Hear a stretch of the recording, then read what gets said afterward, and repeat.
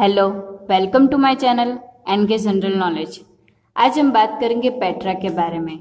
Petra जूडन में सबसे प्रसिद्ध पुरातात्विक स्थल माना जाता है, जो पहाड़ों के बीच एक बेसिन में स्थित है, जो वाड़ी अरब का पूर्वी तट बनाती है, जो मृत सागर से अक्काबा की खाड़ी तक चलती है।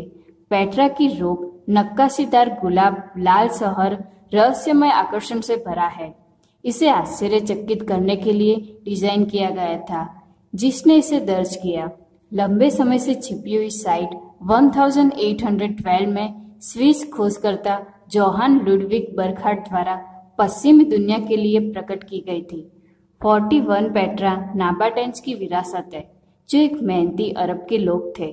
दक्षिणी जोर्डन में 2000 से अधिक साल पहले रोमियो ने 106 ईस्वी में इस पर विजय प्राप्त की और इसे अरब पेट्राय के रोमन प्रांत का हिस्सा बना दिया। यह शहर लगातार दूसरी और तीसरी शताब्दी में फैलता रहा। लेकिन बाद में जब पहलेरा के प्रतिद्वंदी शहर ने ले लिया, तब पेट्रा के व्यापार और पेट्रा के महत्व में गिरावट आई। यह सातवीं शताब्दी में मुसलमानों द्वारा जीत लिया गया था और बारहवीं शताब्दी में क्रूसेडरों द्वारा कब्जा कर लिया गया था।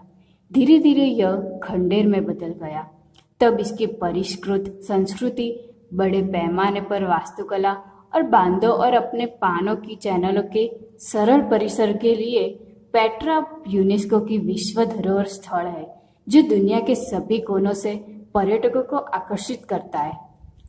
तो ये थी आज की हमारी खास पेशकश मेडिवल वंडर्स में से एक। पेट्रा आपको हमारी वीडियो पसंद आई हो तो लाइक शेयर और सब्सक्राइब ज़रूर करें।